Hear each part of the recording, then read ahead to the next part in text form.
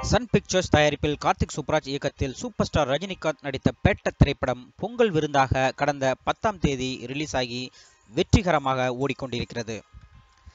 இந்த படத்தில் ரஜினியுடன் சிம்ரன் த்ரிஷா விஜய் சேதுபதி சசிகுமார் சித்திக் பாபி சிம்மா என பல முன்னணி நடிகர்கள் நடித்துள்ளனர்.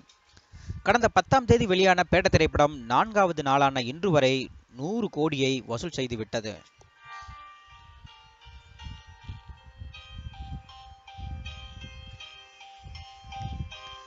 பேட்ட திரைப்படத்தில் ரஜினிகாந்த் தரமான பல சம்பவங்களை பார்க்க போறீங்க என்ற ஒரு வசனத்தை பேசியிருப்பார்.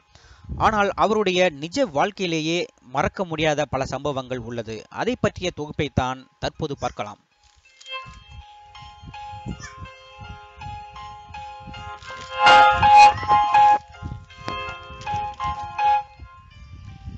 சூப்பர் ஸ்டார் ரஜினிகாந்தின் மறக்க முடியாத ஃபங்க்ஷன் என்றால் அது ஆயிரத்தி தொள்ளாயிரத்தி தொண்ணூத்தைந்தாம் ஆண்டு ஜூலை மாதம் பதினாலாம் தேதி அடையார் பார்க் ஹோட்டலில் நடந்த பாட்ஷா திரைப்படத்தின் சில்வர் ஜூப்ளி ஃபங்க்ஷன் ஆகும்.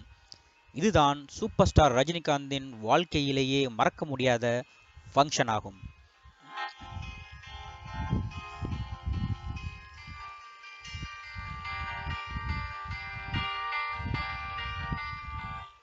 அதேபோல் சூப்பர் ஸ்டார் ரஜினிகாந்தின் மறக்க முடியாத விலை மதிப்பு மிக்க பொருள் என்னவென்றால் அது தான் நடித்த முள்ளும் மலரும் பட வெற்றியை பாராட்டி டைரக்டர் கே. பாலச்சந்தர் அவர்கள் கொடுத்த அப்ரிசியேஷன் லெட்டர் ஆகும்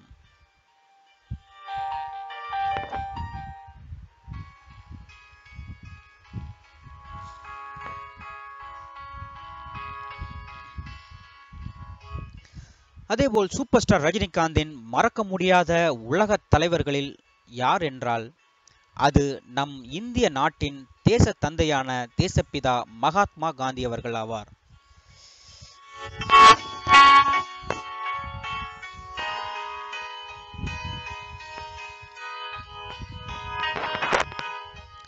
இதேபோல் சூப்பர் ஸ்டார் ரஜினிகாந்தின் மறக்க முடியாத நண்பர் யார் என்றால் அது நடிகை ஸ்ரீபிரியா.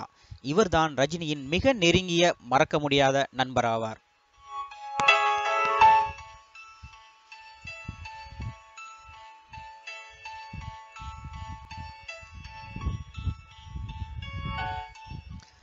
அதேபோல் சூப்பர் ஸ்டார் ரஜினிகாந்தின் மறக்க முடியாத மனிதர் யார் என்றால் அது இயக்குனர் சிகரம் டாக்டர் கே. பாலச்சந்தர் அவர்கள் ஆவார்